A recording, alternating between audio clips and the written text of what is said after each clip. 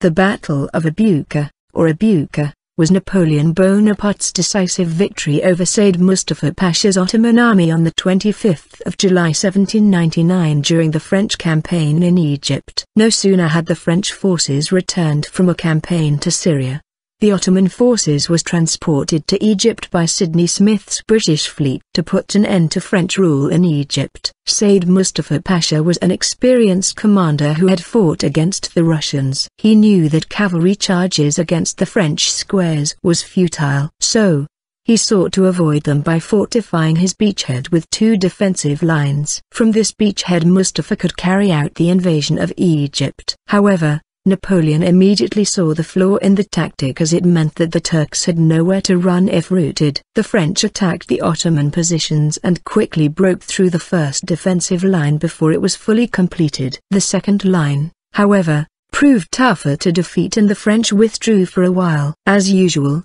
the Ottoman army came out of their positions and began killing the wounded and mutilating the dead. At this point, Cavalry General Murat saw his opportunity and attacked with his cavalry quickly routing the exposed Turks. Murat's charge was so rapid that he burst inside Mustafa's tent and captured the Turkish commander, severing two of the Turks' fingers with his saber. In return, Mustafa shot Murat in the jaw. Immediately, Murat was operated on and resumed his duties the next day. The Turkish army fled in panic. Some Ottomans drowned trying to swim to the British ships two miles away from shore, while others fled to Abukir Castle but they surrendered shortly thereafter.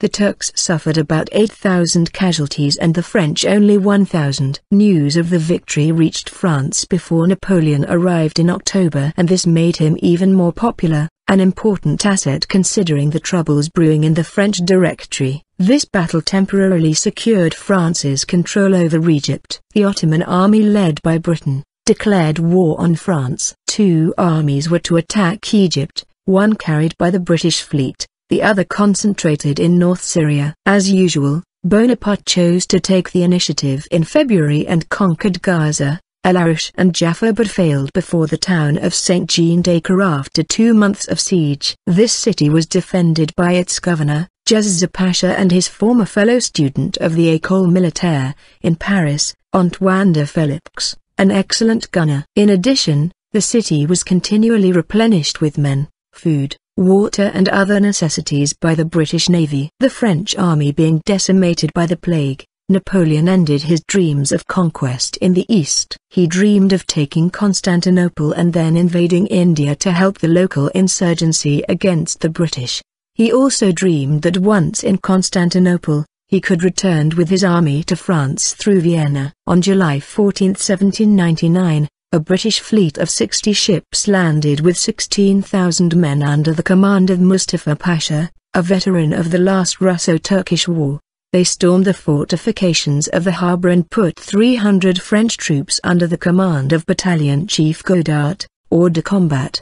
The peninsula changed hands and Turkish flags fluttered on the bastions of the city. Proud of this success, Mustafa Pasha was in no hurry to march on Cairo and Morad Bey, who managed to escape and join him, said, The French dreaded that you could not support the presence, I watch, and they are fleeing before me and Morad replied, Pasha, thank the Prophet that it suits the French to withdraw, because if they turned, you would disappear before them like dust before the north wind. Forces Napoleon brought together as many troops as possible. Without waiting for Kleber, he approached Abukir with the divisions of Lannes, Desaix and Murat's cavalry. 10,000 men and 1,000 horsemen and the Turks gathered 18,000 men, 8,000 of whom were in a condition to fight. Battle On 25 July, the Turks were on the defensive and relied on a strong redoubt between their lines and the sea. The British, too far from shore because of shallow waters, could not use their artillery against the French. Bonaparte established his artillery on the heights, but his launch of a first attack was a failure because Desaix stalled and Murat dared not to overload as he saw the shot that struck above his head. Then the Ottomans fell. Pasha attacked the fort with his men and cut the heads of French soldiers killed. Rage seized the French, who without orders, rushed into the enemy ranks. Murat with his cavalry, operate a turning movement and then he completes is the operation by loading so quickly that it passes through all the enemy lines and leads him behind the town, cutting off the retreat of Mustafa Pasha whom he captured in a single combat. Meanwhile, the rest of the Turkish army drowned while trying to regain the vessel.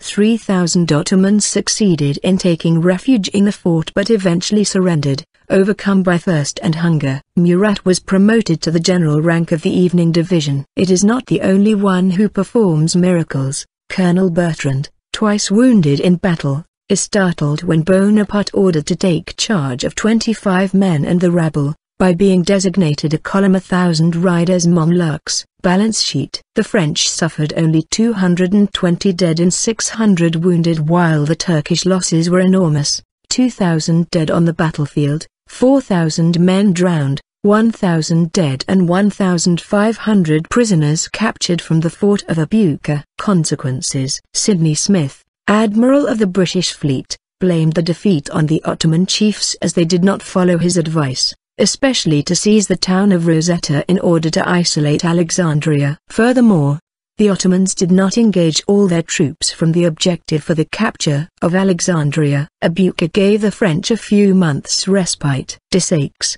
continued through Upper Egypt in search of Morad Bey. On August 23, leaving the command to Kleber, Bonaparte embarked on the frigate Muiron, with Berthier, Murat, Lannes and others, because, from reading the British newspapers, he learned the recent defeats of the management. On this occasion, he earned the nickname General Good Catch. In the medium term, a French presence in Egypt was impossible to maintain. Kleber did restore French rule over the country thanks to his victory at Heliopolis, March 18, 1800, but less than a month later he was murdered in his garden in Cairo by a student of theology. Kleber's successor, Menou, lacking the skills of a war leader, was defeated at Canopus and surrendered on September 2. Under the convention, the British army came back in France. Egypt remained in French memory as an incredible adventure, and two or three hundred stragglers or deserters became French Mamluks. Thus, Chateaubriand could meet Gascons or Picards, renowned for their courage and whose beys and pashas quarreled services,